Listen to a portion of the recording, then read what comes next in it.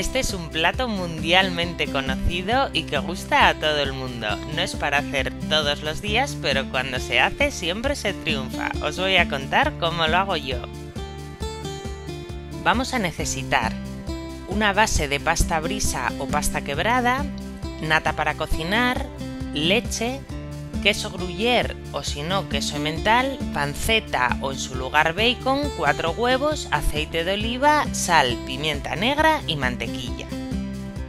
Comenzamos untando con mantequilla el molde que vayamos a utilizar. Esto lo hacemos para que después se desmolde bien y no se pegue la masa al recipiente.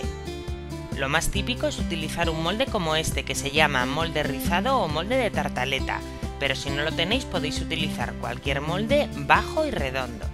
Desenrollamos la masa que habremos tenido un ratito a temperatura ambiente para que se despegue bien y no se rompa y la colocamos en el recipiente cubriendo el fondo y los laterales. La pasta brisa o quebrada también se puede hacer casera, pero la verdad que estas que venden ahorran mucho trabajo y suelen resultar bastante ricas.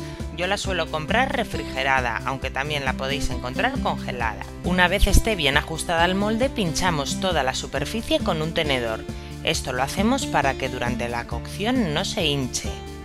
Y la vamos a meter al horno que tendremos precalentado con calor arriba y abajo a 180 grados durante 15 minutos.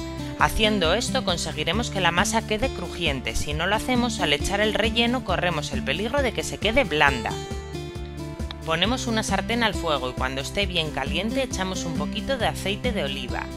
Añadimos el bacon o la panceta cortado en tiras y lo vamos a sofreír durante unos minutos y cuando esté bien crujiente lo vamos a sacar sobre papel de cocina para retirar todo el exceso de grasa. Lo ideal es utilizar panceta porque no tiene el sabor ahumado del bacon, pero si no lo encontráis podéis hacerlo igual con bacon utilizaremos un taco de queso gruyere o emmental y lo vamos a cortar de modo que obtengamos cubitos del tamaño de un dado. Se podría utilizar en su lugar queso rallado, pero haciéndolo así obtendremos mucha mejor textura.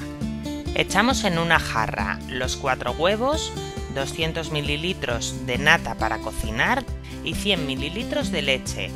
Esto lo añadimos para aligerar un poquito la mezcla.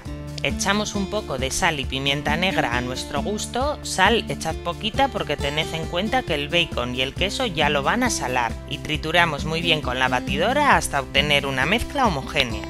Distribuimos el bacon sobre la base horneada. Agregamos los dados de queso y regamos todo con la mezcla de huevo, leche y nata y metemos al horno que tendremos precalentado con calor arriba y abajo a 180 grados durante 30 minutos hasta que la superficie esté dorada. Y ya tenemos nuestra famosa y riquísima quiche casera. Es una receta como veis muy sencilla, pero bueno, yo os he contado mis truquitos para que salga buenísima. No es para hacer todos los días, pero de vez en cuando sienta de maravilla.